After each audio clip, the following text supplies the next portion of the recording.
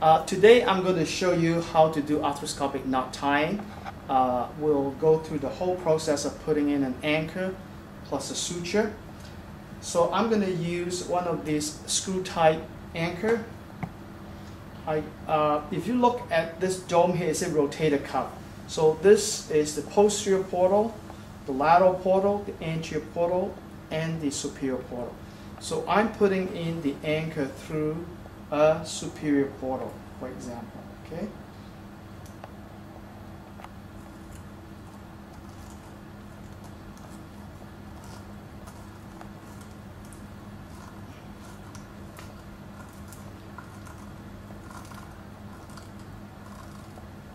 Okay.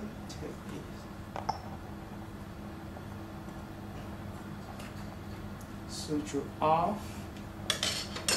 Now, I'm going to transfer the suture from the superior portal to the lateral portal using a crochet hook.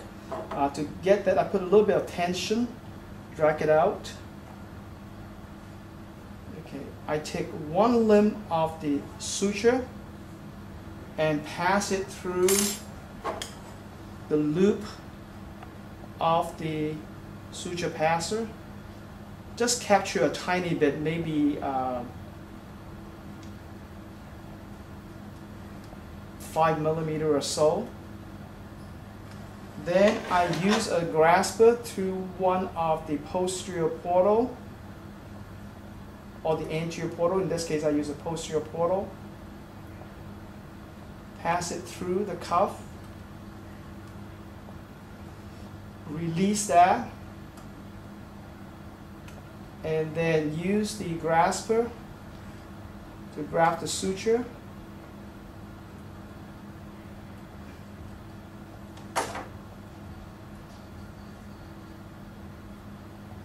So that is through the rotator cuffs. And I want to bring the suture back out to the lateral portal with a crochet hook. Then I load the suture through the knot pusher. I'm using uh,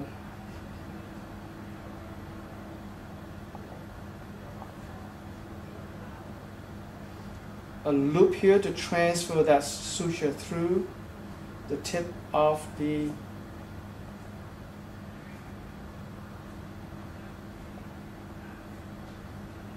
knot pusher. Okay. Now, this is in general called the post limb. Okay. What I do is I take a snap I snap it on one end of it. This is just to act as a weight. Okay. Now I want you to watch this uh, carefully. So I'm going to put a do a half hitch. Just going to pull this through here. Okay. So I take my index finger, push it up, then I go around the post limb. Use the back of my finger, then pull it through. Okay, I'll show it to you again. Use the index finger. I grab the what I call the wrapping limb with my thumb and middle finger. The index finger, push up, loop around the post, and then flip it with the back of the finger and then back out, and then pull through. So what I have is a half hitch. So I'm using the weight of the uh, snap and uh, this like a trigger.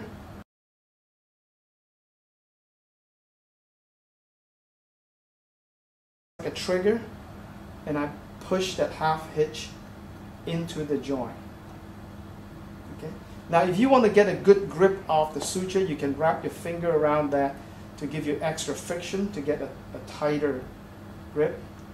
Pull that out. I repeat the same thing.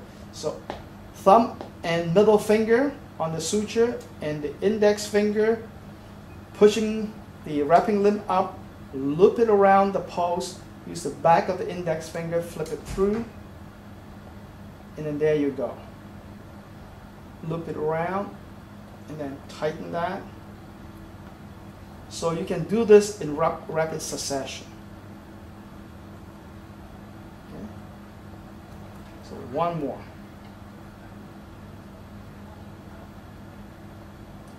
Now, this is a little refinement. I put a loop here, so once I get into the joint, instead of pushing it, I can actually pull this post backward, and that will flip the knot. And then I would advance that, so that would be the half hitch flip on the opposite side. Then so that is called a reverse half hitch on the post. Okay, there you go. I'm now going to show you another way of passing suture through the rotator cuff. Previously, what we have done is to take the braided suture through the loop of the monofilament and capture it on the tip of the suture passer and push it through the rotator cuff. We can also take a monofilament, a single limb of the monofilament. And I'm just going to pull this out right now. Okay, one single limb. And then pass this through the rotator cuff and use this as a suture shuttle to shuttle the braided suture across the rotator cuff. So what you do is that you retract this all the way into the needle